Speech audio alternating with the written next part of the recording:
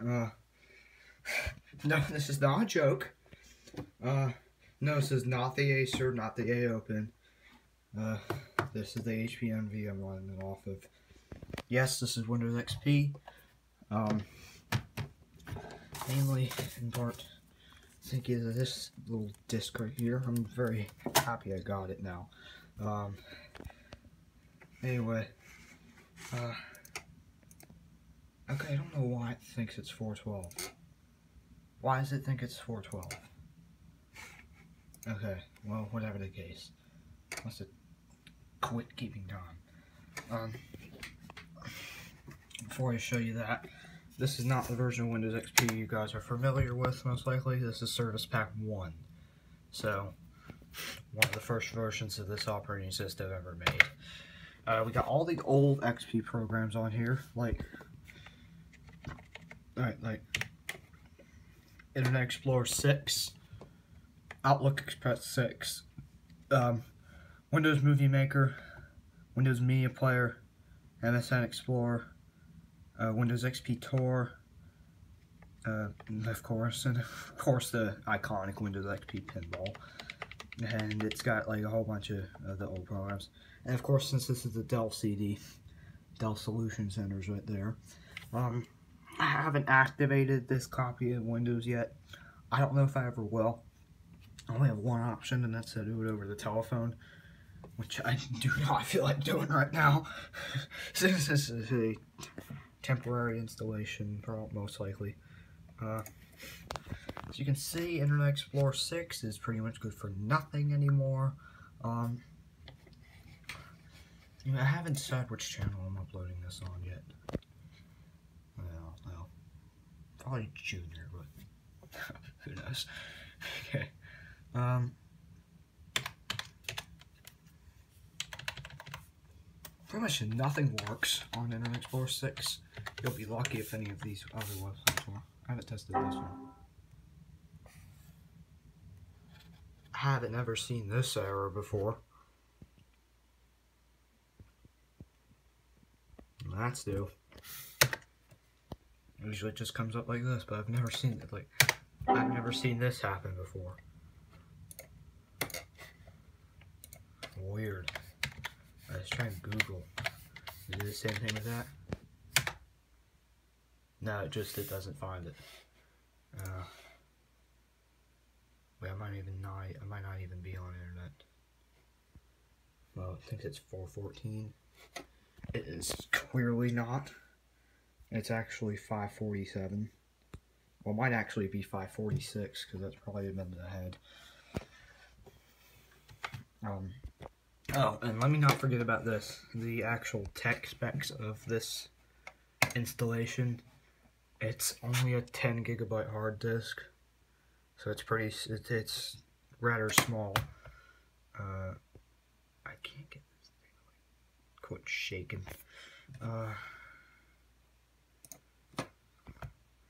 yeah, Service Pack 1, 256 megabytes of RAM. Uh, it detects the processor from the actual Envy computer, the actual laptop. Not, it's not like some special processor at all. Anyway, and I especially I got like everything's like so right on here. And of course, like screen resolution too, I got set on 1280 by 1024, which is the maximum that this monitor supports if you which is like pretty much the maximum this monitor supports if you want like to stretch the whole way like fit on the entire screen. Um, anything more or less it does not look good especially if you try doing 1600 by 1200 that does not look good at all. Whatever the case um, if I find out about 1600 on 1200 maybe being compatible with this monitor, I might put it on there. But I'm probably not doing that. so, and of course, uh, this is a full-blown XP installation, even though it's Service Pack 1. Yeah, it's Windows Media Player 8, in case I didn't mention that. And of course, the older XP Movie Maker, so it's missing a lot of the features that the newer one has. Um, uh, Yeah, I also tried. I tried putting POS Ready 2009 on here as well, but whenever I try installing it, it it blue screens whenever I try to start it up after the installation. Like I have tried everything, it won't work. This fortunately works, but I only get to use it for 30 days unless I call up Microsoft if I want to use it forever. Which this is only a virtual machine, so uh, not really like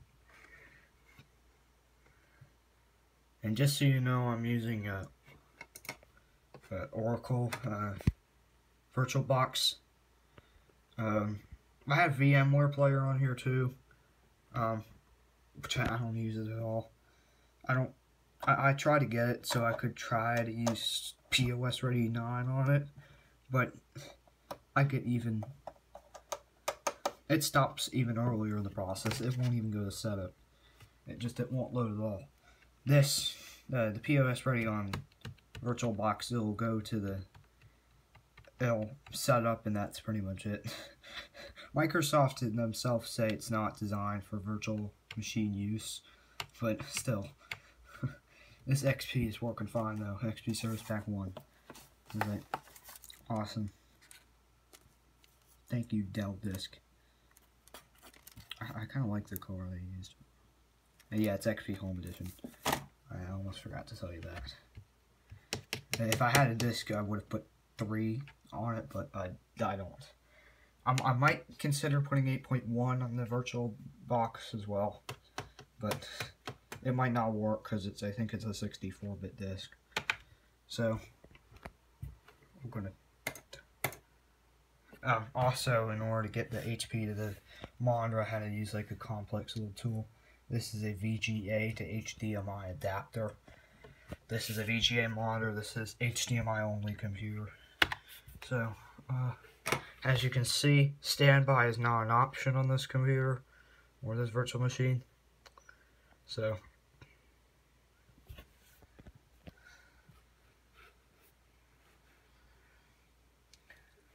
we turn off restart, well, we're going to turn off uh, we're gonna um, I wonder how much it says for the uh, I wonder if it detects my drive. I uh, since I was able to install it directly from the CD uh, it says it's a CD drive. I, I don't know what it thinks about it. Uh, it just says CD drive which is kind of weird Ah, this just probably just reminds me of how much I miss Windows XP. of course, I have the A open to do it on too, but that takes a long time to get that ready. And of course, the Acer is not an option anymore. is not even loading. Look at that. It just freezes up. Yeah, and end program. this virtual machine is all messed up. Uh, don't send error report. I don't even know if it's gonna. no, for real. Let's go to system. Uh, I try putting Flash Peak Slim Jet I have on the A open on here, but since this is Service Pack 1, it obviously doesn't work. Uh, yeah, most likely it's Service Pack 1. if this was Service Pack 3, it'd be working perfectly. Today open was Service Factory. 3. Um, I, I, I, really apologize for all the shaking. I am a very low budget recorder. Uh, uh, yeah, I'm using an iPhone 6, of course. I just updated it to iOS 11, so. Um,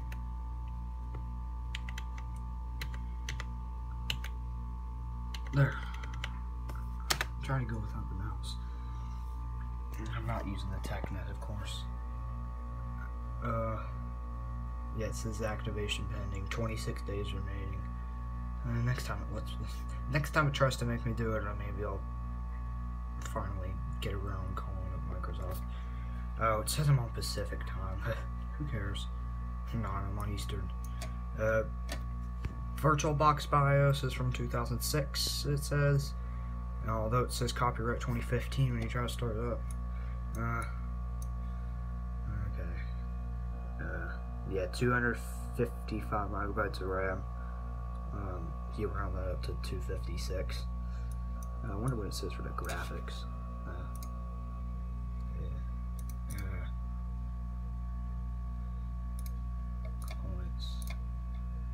Display. Oh. Okay, it doesn't even say. Uh, uh, okay, doesn't even say. Yeah, a lot of this stuff is missing because it's a virtual machine, so it does not uh, detect it most usually. Uh, the only thing it really detects about this computer is the fact that it's a Core i7. I set it up a different way. Uh, yeah. So, XP Service Pack 1. Yeah. Probably the most useless service pack most useless version of XP there is, with the exception of XPRTM, which is lost now. Uh, uh, virtual box. It does detect that this is a virtual box. innotek GmbH. I don't even know what that is. The only thing it says about, about the actual computer is that it's uh, Core i7. Let's see what happens when we try ejecting a disk drive. Does it actually pop open?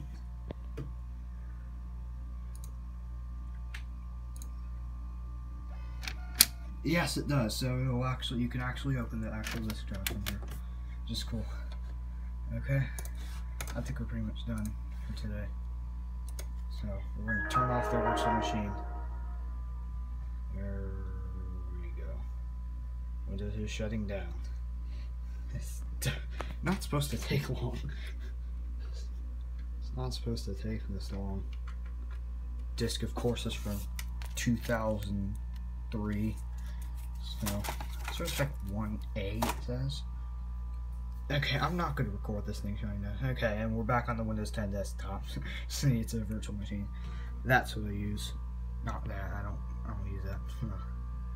That's the POS Ready 2009 ISO. So.